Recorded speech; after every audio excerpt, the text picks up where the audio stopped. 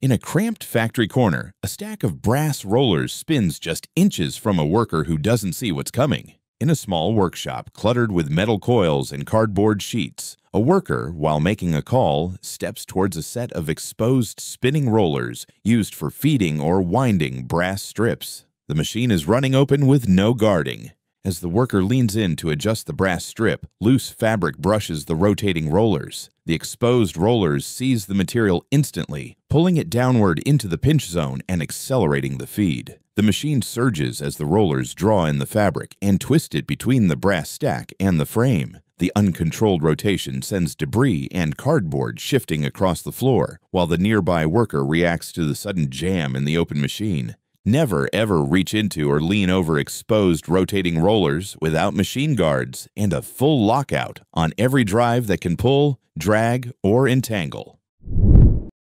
On a loading pad beneath a bright midday sun, a tanker's hatch opens, and the trapped vapors inside are seconds from turning the whole rig into a pressure cannon. A fuel tanker sits parked near an industrial building, and a worker climbs up to the rear hatch. The worker stands directly over the opening point, unaware that residual fumes inside have been heating and building tension. The moment the hatch is cracked open, a hidden ignition source flashes within the vapor pocket. The superheated fumes ignite instantly, sending expanding gases blasting outward in a single violent burst. In less than a heartbeat, a dense black wave of pressure rolls across the concrete pad as the overpressurized tank vents its built up energy. Flammable vapors inside tankers can ignite with explosive force the moment a hatch is open near any heat source. Do maintain strict no smoking zones and verify vapor conditions before breaking containment. On a stamping line, two workers lean over a giant press trying to straighten a sheet, while the machine's next cycle is already counting down. Inside a factory bay, a wide hydraulic press sits at the end of a feed path, Two workers stand on either side of the die, hand feeding a flexible sheet onto the bed with no guard, no light curtain, and the press still in automatic mode. As they tug the sheet into place, one of the workers leaves to go pick something up while the other stays in the danger zone straightening out the sheet. Without warning, the press begins its programmed stroke. The upper platen drives downward, the gap seals in a single motion, and the open die space transforms into a moving wall of steel as the automatic cycle locks into place. Never ever reach into or hand position material inside an energized press that isn't fully guarded, locked out, or under two hand control. On the bed of a flatbed truck, a worker stands directly beneath two massive bulk bags. Moments before gravity and swing decide the next move. A crane lowers two heavy industrial bags toward a truck where a worker stands on the load deck. There's no barrier, no tagline control, and the bags hang from a single hook, swaying as the crane operator inches them into place. The worker tries to guide them by hand, leaning forward and raising his arms toward the suspended load. As the crane shifts, the bags swing unexpectedly. The combined weight and momentum drive the suspended load downward and sideways, sweeping across the truck bed with sudden force. The uncontrolled swing turns the tight work zone into a severe crush hazard corridor until the load stabilizes under the hook. Do not stand beneath, near, or in the travel path of any suspended load. Keep distance until it's grounded and under full control. Behind a box truck, two workers shuffle containers into place, unaware that one open door is about to swing with the force of a battering ram. A delivery truck is parked at a loading area. Two workers are lifting and repositioning heavy jerry cans on the tailgate. One rear door is wide open and unsecured, angled outward into the work zone. The other worker steps in close, focused on adjusting the load. A gust of wind or a small shift in truck movement nudges the door. The unlatched door suddenly swings shut with full force, driven by the wind and the truck's slight movement. The metal panel whips across the tailgate zone, slamming inward against the frame. Containers rattle as the door comes to a stop with a heavy impact, snapping the work zone into a narrow, high risk corridor until everything comes to rest. Never ever work beside an unsecured truck door Always latch, tie back, or lock doors before loading or unloading.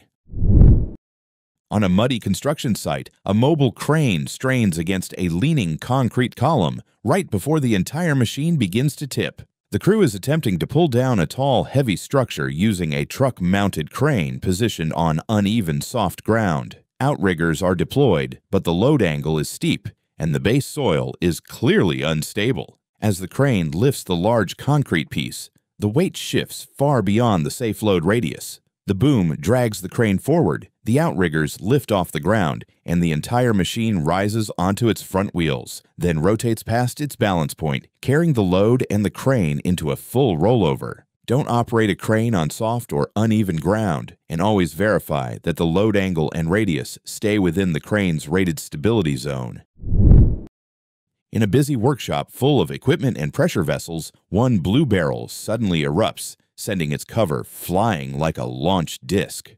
Workers are stationed at benches and machines across a large industrial shop. On the far side, a sealed blue barrel is under some form of internal pressure, heat, chemical reaction, or trapped air. Another worker is focused on his task just a few meters away, unaware of the brewing hazard behind the barrier of equipment. Without warning, the barrel lid blasts upward and outward, propelled by internal pressure. The cover shoots across the workspace like a spinning disc, crossing the aisle and slamming into equipment and guardrails in its path. The impact rings through the shop, scattering tools and highlighting how a single overpressurized container can turn loose hardware into a high speed projectile. Never, ever work close to a pressurized container without verifying its venting, release path, and structural condition.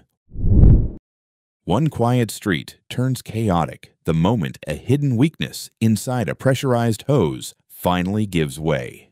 It's early afternoon on a residential commercial block, hot, bright, and calm. A utility crew is setting up for routine service work beside a sidewalk. One worker positions a tall extension ladder while another manages a supply hose connected to a fuel delivery trailer parked at the curb. The hose, coiled loosely on the pavement, is under pressure from the LP gas trailer behind them. No visible cracks, no leaks, no signs of strain. Without warning, a violent burst of escaping gas erupts from the midspan of the hose. A roaring white cloud blasts outward, racing across the pavement in seconds.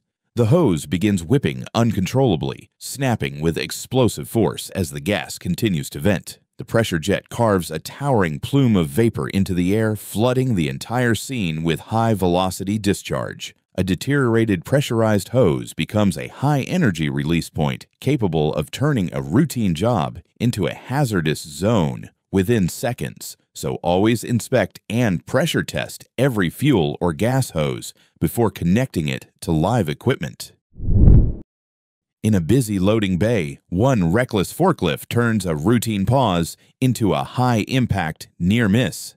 Inside a warehouse loading area, multiple forklifts are moving in and out of dock doors, shifting pallets and stacks of cardboard. Lines on the floor mark lanes, but traffic is tight, and machines are passing within inches of each other. An orange Toyota forklift is stopped in a marked space. Its driver has stepped down and is standing beside it, checking something on the front end, completely focused on the equipment, not on the traffic behind him. From his point of view, he's still with the machine and feels safe in that small island of space. Behind him, another forklift approaches at speed, weaving through the congested area and cutting the corner instead of slowing down. There's no horn, no full stop, and no proper lookout in the direction of travel. The moving forklift clips the stationary truck, twisting it sideways and shoving the equipment across the marked lane. The sudden collision sends pallets wobbling and cardboard skidding as the truck lurches under the impact before the moving forklift finally comes to a halt. A forklift driven too fast and too close in congested areas becomes an uncontrolled striking hazard to anyone on foot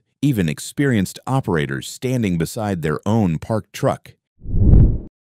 In a muddy trench, one mistake turns a concrete ring into a free falling hazard above a worker's head. On a construction site, an excavator is trying to hook and lift a heavy concrete ring. A worker stands in the trench, holding the ring steady by hand so the operator can catch it with the bucket. As the excavator tugs to hook the ring, the load shifts and slips free, the concrete ring drops straight back into the trench, slamming into the muddy floor and striking the trench wall as it lands. Anytime a worker stabilizes a suspended or to be lifted load by hand, the load can turn into an uncontrolled crushing hazard if it slips. Keep workers out of the trench and away from the load before lifting. Use taglines, proper rigging, and signal communication, never hands, to steady concrete rings. Don't forget to share what you learned today in the comments. Your insight could save a life.